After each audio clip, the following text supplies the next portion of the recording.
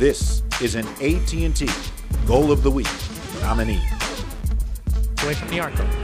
Outside of the left foot, finds Kamara. Turn at the top of the box. Kamara!